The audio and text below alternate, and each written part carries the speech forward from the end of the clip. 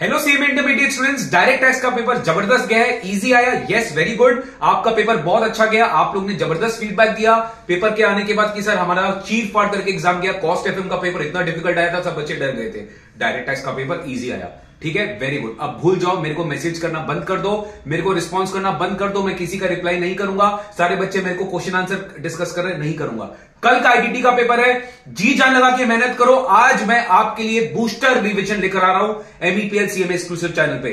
पक्का से देखना, एक घंटा में पूरा का पूरा मैंने आपको समराइज कर दिया है सीएम इंटर आईडीटी जो आपका कल का एग्ज़ाम है। आज शाम को एमईपीएल सीएमए एक्सक्लूसिव चैनल में पक्का से आना और पूरा आईडीटी सिलेबस ज़बरदस्त तरीके से चीर फाड़ करके रिवाइज करेंगे, ताकि आज जितना आपका डीटी का पेपर अच्छा गया है, उससे भी ज़्यादा अच्छा कल आपका आईडीटी का पेपर जाना चाहिए। प्लीज़ डीटी के बारे में डिस्कशन करना बंद कर दीजिए आईडीटी पे फुल फोकस मेहनत करिए। तीन चीज़ों को याद रखिएगा कस्टम को रिविजन पहले करना जीएसटी में इंपॉर्टेंट टॉपिक्स पहले रिवीजन करना, और 40 60 का रूल याद रखना कि फ़र्स्ट 40 मिनट्स में आपको 60 marks I mean first 60 minutes में आपको 40 मार्क्स सिक्योर करना है।